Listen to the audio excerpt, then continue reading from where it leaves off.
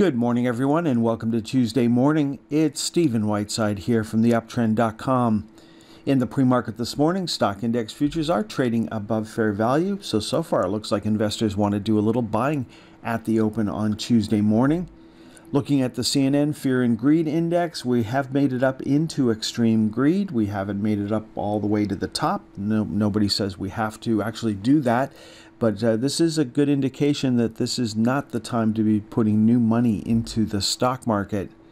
Now, we normally uh, look to New York and uh, Toronto for guidance on uh, what's going to happen next in the markets, but uh, what's been going on over the last seven weeks has a lot more to do with uh, the people in Chicago than it does with the people in New York or Toronto. Uh, looking at the VIX, the VIX is still on a daily sell signal. That would change on Tuesday if we were to close above 1296. And then looking at the bond market, uh, we've got 10 uh, yields. Uh, we're seeing panic selling at the moment. It's currently ranked as zero. Uh, we've come down to the 391 level. That's currently acting as support. And uh, you can see that on the right side chart, we had an inside day yesterday, an inside day the day before. And uh, so we're looking to see if uh, bond yields start to move back up. That would, of course, be on the back of falling bond prices. We're currently seeing uh, panic buying in the bond market. Uh, the 10 year note has run up to 112.50 and stopped over the last couple of days. It could continue its climb, and if it could um, continue to move higher, that would be supportive for higher stock prices. If we start to pull back and get a sell signal here, that, of course, would be negative for the stock market. And of course, as a consumer, you can uh, uh, watch that in the TLT or in the XBB traded in Toronto. If uh, we see sell signals in either of those, that of course would be very negative for the stock market. Now, speaking of the stock market, the iShares for the TSX 60 had an inside day on Monday. Uh, the big winner on the TSX was one of the big losers from last week, and that was Dollarama. Uh, that was the big gainer. Uh, then looking at the Dow, new high for the Dow. And uh, the big winner on the Dow was also one of the big losers from last week, and that was uh, Procter & Gamble. Uh, still, both Dollarama and Procter & Gamble are on daily sell signals. That has not changed. Uh, there's the S&P 500 moving up yesterday. The big winner on the S&P 500 was Etsy, still on a buy signal, no change in trend.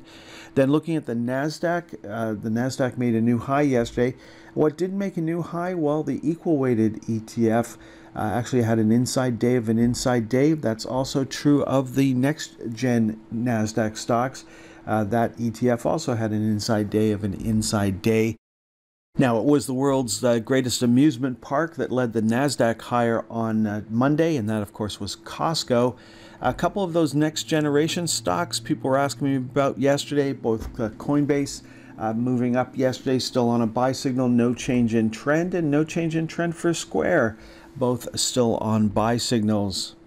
Let's uh, finish off today's presentation looking at commodity ETFs. And we've got the USO back on a buy signal as of Monday's close, joining gasoline already on a buy signal. And then uh, we had natural gas trade up to the channel, so a close above $5.06 on uh, Tuesday would give us a buy signal for natural gas. Uh, inside day yesterday for the GLD, no change in trend there. Then we've got uh, palladium continuing to move higher, making a new high for this move. Platinum moved up slightly on Monday. And then looking at the SLV, we uh, pulled back yesterday. Uh, still on a buy signal. That would change on Tuesday with a close below $21.50.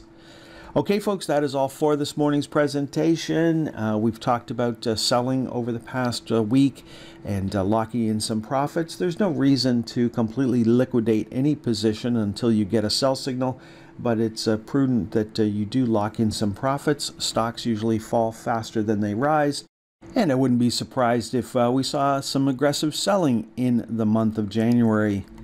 Enjoy the rest of your day, folks. Next time you'll hear my voice is on Wednesday morning.